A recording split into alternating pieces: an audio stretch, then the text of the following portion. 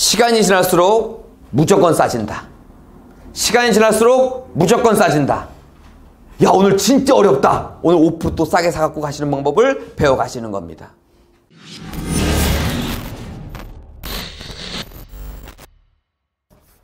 한번 물어볼게요. 경매 공부해보니까 어렵습니까? 쉽습니까?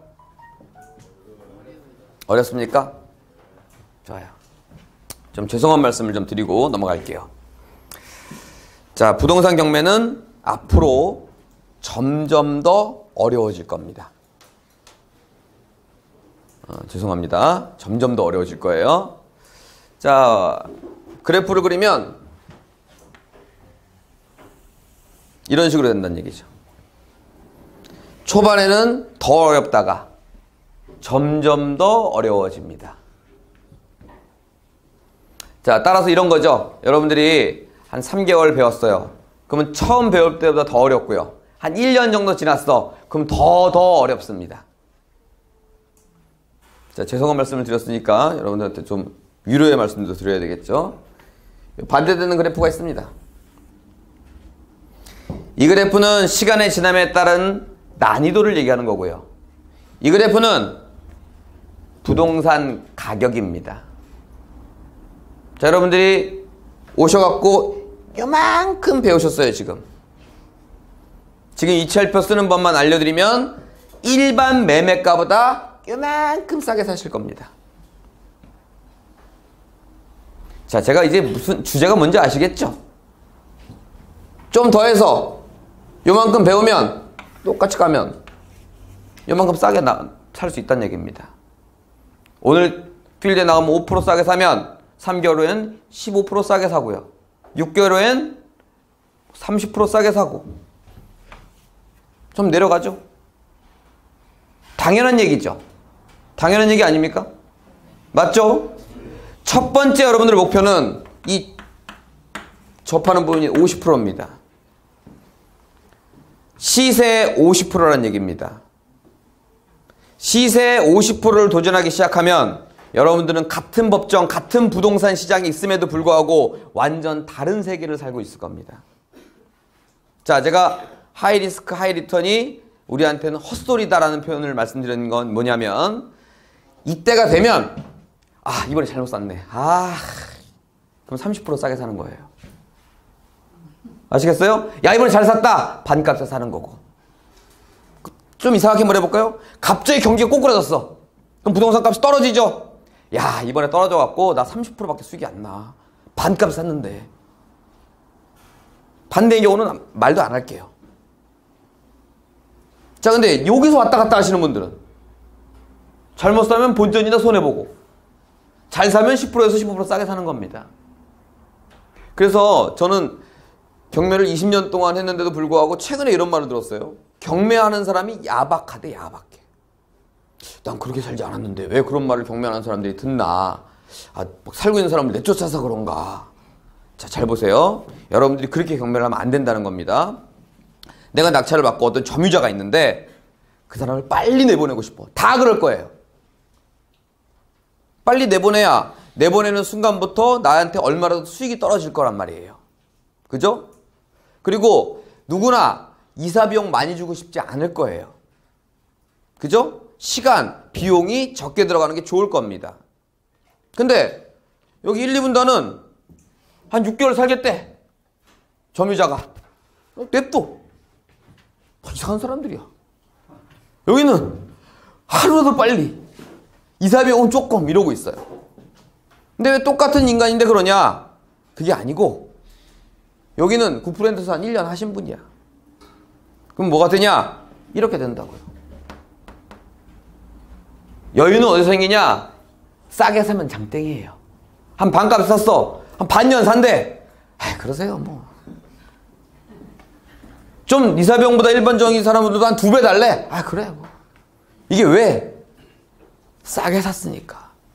지금 고양지원의 아파트 제가 작년 낙찰금을 말씀드렸나요? 감정가 대비 95.3이에요. 1억짜리를 9,530만 원에 받는다고. 그럼 이사비용 50만 원 더 주면 내가 까죠. 그럼 여기서 야박이라는 말을 들 수밖에 없는 거예요. 내가 한 달만 늦게 내보내도 내 임대료가 안 들어오면 내가 손해보는 거죠. 이해 가셨죠? 이런 식으로 경매, 6이라는 얘기가 아니에요. 예를 들어 드린 거지. 이런 식으로 경매는 되겠어요? 그러니까 매번 경매인이 바뀌는 겁니다. 해보니까 돈이 안 되니까. 그래서 일반인이 하는 쉽고 편한 부동산이 무조건 돈이 안 돼요. 그럼 이렇게 해볼까요? 여러분 머릿속에 사고 싶은 용도가 있죠. 그죠? 사고 싶은 지역도 있을 거고. 그렇죠? 그리고 사고 싶은 금액도 있을 거예요. 마지막으로 사고 싶은 권리도 있을 겁니다. 하나하나 해볼까요? 사고 싶은 용도. 나는 아파트 다세대 빌라 또는 오피스텔. 우리 동네 지역은 금액은 한 현찰 5천에서 할 수 있는 거. 마지막으로 뭐였죠? 한 이렇게 한번 찍어 볼게요. 자, 이렇게 찍는 순간 남들이 다 하고 싶어 하는 부동산을 선택하는 겁니다. 그건 좋아서 선택하는 게 아니고 그거밖에 몰라서 선택하는 겁니다. 자, 오피스텔 하나 예를 들어 볼까요? 오피스텔 앞으로 5년 지나면 좀 오를까요? 그냥 분양을 받았거나 매매를 했어요. 우리 동네. 아무거나. 오피스텔 백석에도 있고 여기 뭐 장항에도 있고 많이 있죠? 하나 샀어. 그래서 5, 1년이 아닙니다. 5년이에요. 5년이 지나면 오를까 떨어질까? 5년 전에 샀으면.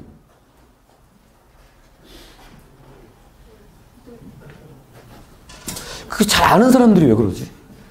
우리들은 안 그러죠? 지금 오피스텔 한 번 나오면요. 무조건 10명 이상 들어가요. 우리 그러잖아. 떨어지는지 오르는지 잘 모르겠잖아. 그게 뭐예요? 별 재미가 없다는 거예요.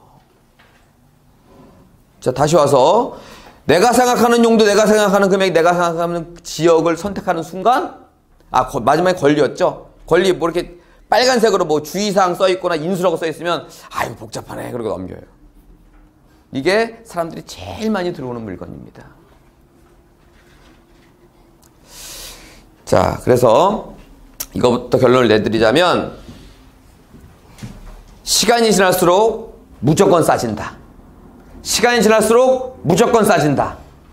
야, 오늘 진짜 어렵다. 오늘 5%또 싸게 사갖고 가시는 방법을 배워가시는 겁니다.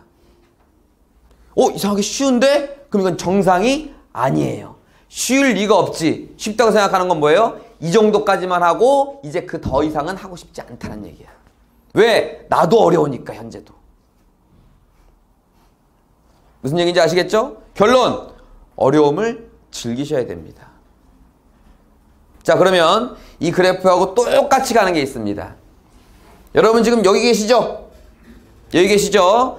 여러분이 지금 고르는 물건이 죄다 별로예요. 그럼 언제 고르는 물건이 좋은 거예요?